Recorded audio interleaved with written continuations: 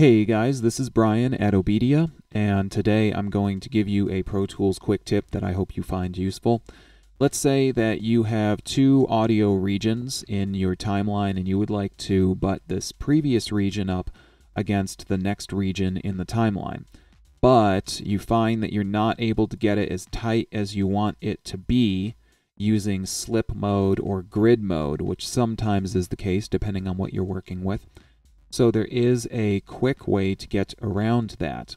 If we want to use a Pro Tools command to make this region jump up against this next region, pretty easy to do. First, select the last region, the one that you would like for the previous region to butt up against. Then, move your mouse over to the bottom half of your audio region, and if you are on PC, hold down Control and the Windows key if you are on Mac, hold down Command and Control. That's the Apple key and Control. Hold those down and click the previous region. And now you notice that that region has jumped right up against the beginning of this next audio region. So it's sitting up against it nice and tight, and they will play together in tandem uh, together if I play them.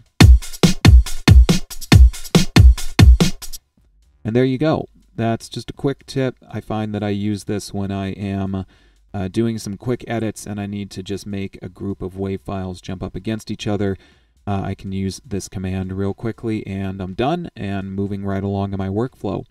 I hope that you guys have found this useful. As always, please keep in touch with me. My email is brian at obedia.com, on Twitter at twitter.com forward slash obedia tutor, and Facebook at facebook.com forward slash Obedia Tutor. Until next time, thanks for watching and happy music making to you.